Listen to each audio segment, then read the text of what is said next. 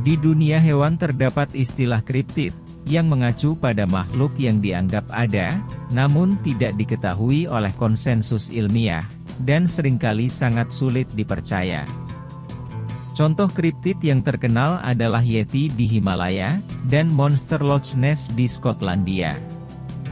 Kadang-kadang, kriptid juga disebut UMA, yang merupakan akronim dari Unidentified Mysterious Animals atau hewan aneh misterius. Istilah kriptid berasal dari bahasa Yunani, yaitu kripto, yang artinya sembunyi. Istilah itu dicetuskan pertama kali oleh John Ewell pada tahun 1983 dalam sebuah surat kepada Perkumpulan Kriptozoologi Internasional, atau International Society of Cryptozoology.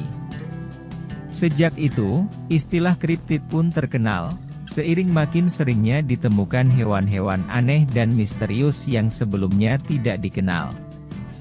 Ada yang mau menambahkan?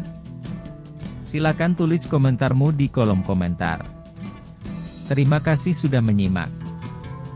Jangan lupa like, subscribe, komen, share, dan selamat belajar.